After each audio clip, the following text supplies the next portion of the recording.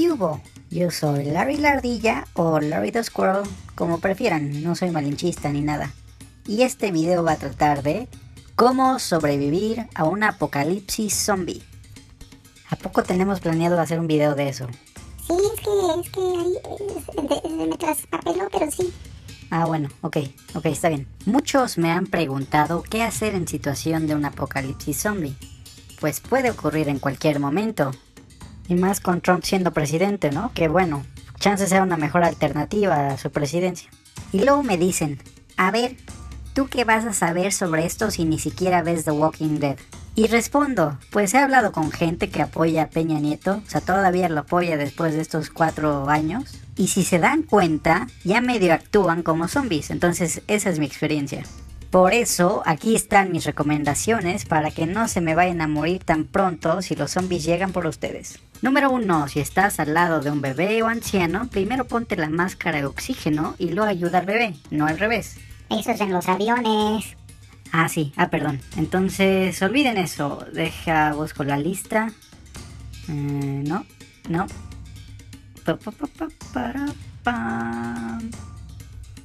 Ah, aquí está. Ok, ah, sí, ok. Primero, consigan muchas plantas, en especial de esas que echan bolas de jote o nueces para protección.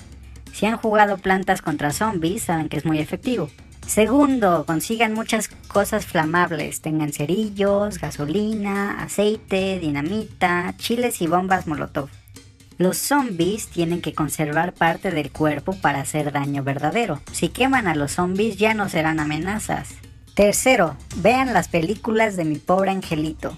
Con que vean la 1 y la 2, las demás no son indispensables hasta dobladas y les complica leer los subtítulos. El chiste es que puedan copiar trampas para poner su casa en situación de estar sitiado por un grupo de zombies. Si tienen lana, contraten al arquitecto del Chapo para que les haga un túnel con el cual puedan escapar.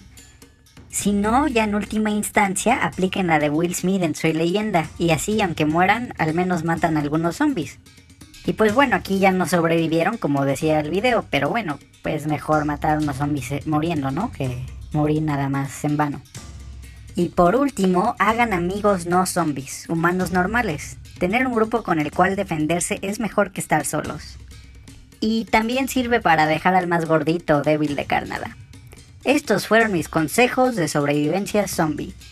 Yo soy Larry the Squirrel y si les gustó este video denle like, compártanlo con sus mejores amigos para que así todos estemos preparados ante esta amenaza.